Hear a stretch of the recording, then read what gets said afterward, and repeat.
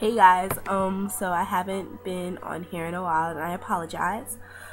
Um, I am in my third year in college and I am a senior, so that's a really big um, accomplishment for me and I'm really happy about that.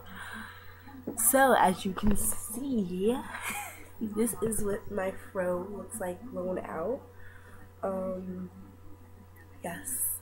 Um, I big chopped July 31st, 2011, and it is now March.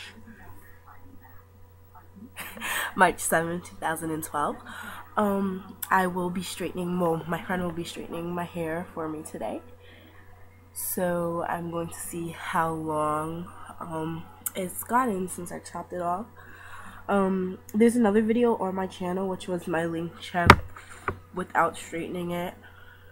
So we're gonna see. I'm probably gonna have to cut my ends. I hate doing that even when I had my relaxer. But we'll see. So this is the first part and then I'll come back when my hair is straightened. Bye guys. Hey guys. So this is what my hair looks like for the most part straightened. Um I have to cut my ends again in the back because they are covered in fairy knots.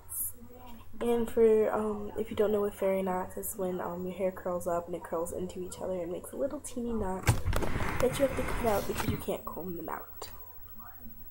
But this is what it looks like. I'm very proud of it. Um, not sure what I'm gonna do with it yet, but yeah. Quick video.